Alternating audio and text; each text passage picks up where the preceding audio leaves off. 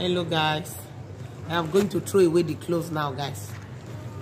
I'll show you guys when i'm throwing it.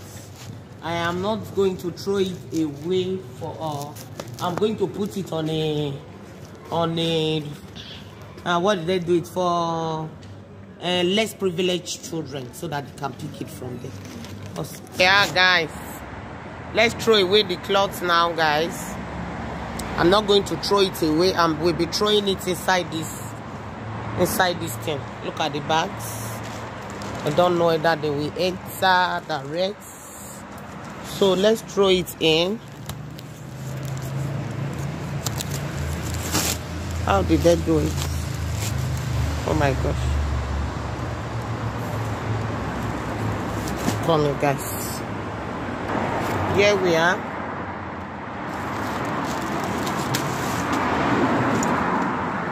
So we give to the less privileged. So use it. Then now we put the other one.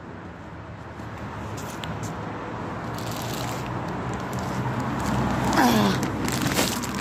Ah. oh my god.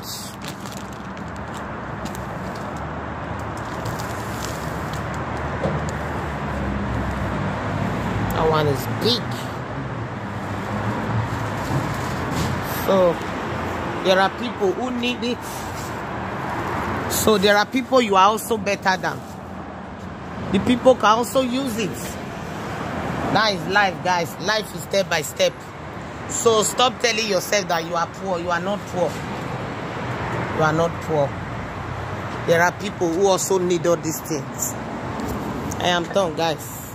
Don't throw away your clothes if you have clothes that your children are no longer using put them in this place. They also have a number. You can also call a number there. You can come to your address to pick it. But mine was not much.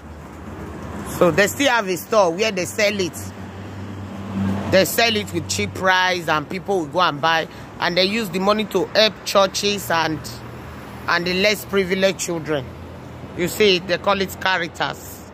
Caritas that is it guys. Please don't throw away your used clothes. Don't throw them away. You have a place where you can keep it. So you see it guys. This is a Caritas uh, container.